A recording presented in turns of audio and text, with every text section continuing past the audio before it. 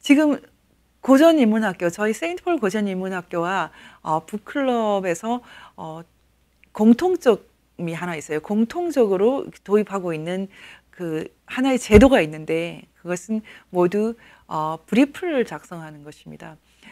사실 그 북클럽은 아주 어, 캐주얼한 그 비공식적인 그런 어, 사실 뭐 사교 모임이 될 수도 있는데도 불구하고 왜 우리가 어, 이렇게 굳이 어, 이런 제도를 그 꼭 도입을 하게 되느냐 그것은 어, 만약 어, 얘기를 하고 뭐 써보지 않는다거나 그러면 사실 별로 남는 게 없거든요. 쓰지 않으면 읽지 않은 것이다 그런 말이 있어요. 그래서 저희는 어, 쓰면서 읽는다, 읽으면서 쓴다 이런 어, 원칙을 갖고 있어요. 그래서 저희가 개발한 것이 음, 그 brief입니다. 독서 brief, book brief인데요.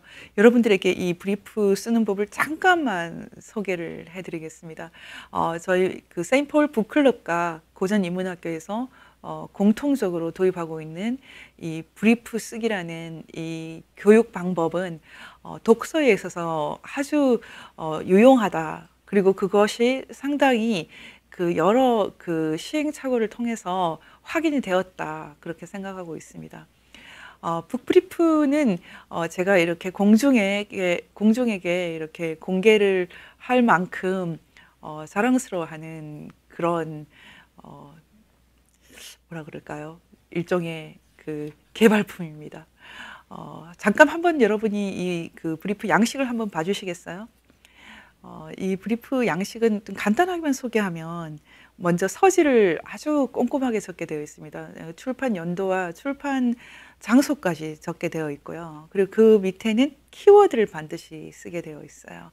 어, 저희가 책을 읽을 때 그 각자가 생각하는 중요한 키워드를 어, 통해서 서로의 독서를 통한 어떤 정신의 확인이라고 할까요? 이 사람은 어떤 것을 키워드로 생각했나, 어떤 사람, 이 사람은 어떤 것을 키워드로 생각했나, 이런 것을 비교해 보는 것을 굉장히 의미 있게 생각합니다. 그래서 저희가 음, 키워드를 어, 일곱 개, 뭐세 개, 세 개까지도 괜찮고 다섯 개, 일곱 개, 거의 일곱 개 정도를 어, 찾아내도록 권하고 있습니다. 그리고 어, 내용을 이렇게 정리하는데 이 내용 정리는 양식을 꼭 그렇게 고정해서 정하지는 않습니다. 사람마다 다 좀 다르게 어, 단순 메모처럼 만드는 사람도 있고 어떤 사람은 요약을 하기도 하고 어떤 사람들은 자기 코멘트를 쓰기도 하는데요. 이것은 조금 자유롭게 하고 있습니다. 특히 북클럽에서는 좀 더 자유롭고 그리고 어, 고전 인문학교에서는 가능하면 발표 자료로 쓸 수 있도록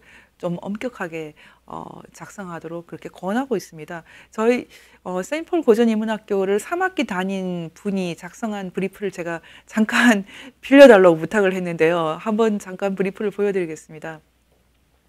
여러분들이 지금 보시는 어, 이 브리프는 최근에 지난달에 그 어, 저희가 북클럽을 할 때 그 작성을 해온 것입니다.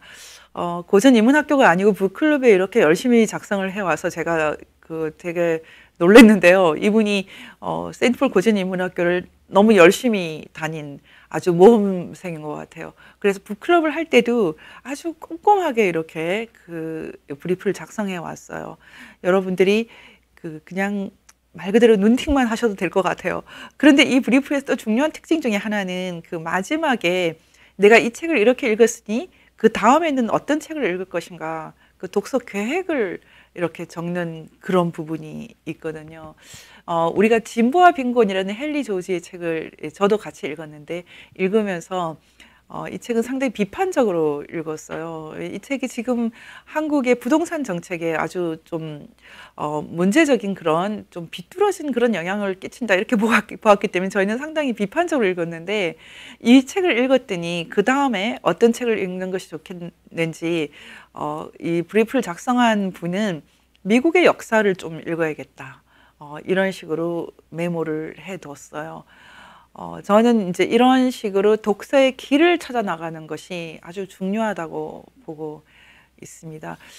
음, 세인트폴 고전 인문학교 지금 처음에 저희가 나라가 참 여러 가지 힘들어서 다음 세대를 위해서 어, 뭔가 해야 된다라고 생각하고 만들었는데 특히 이 브리프를 통해서 어, 저는 그 많은 가능성을 확인을 했어요. 이렇게 어, 이런 브리프를 계속 써 나가면서 책을 쓸 수 있는 그 저자가 되는 훈련도 하고 그리고 자신의 생각을 어, 써서 정리, 정리하고 또 그것을 가지고 발표하는 그런 자료로 쓰고 어, 다시 말하면 지식인이 되는 훈련을 하, 했다는 점에서 아주 어, 소중한 그런 하나의 시스템으로 생각을 합니다.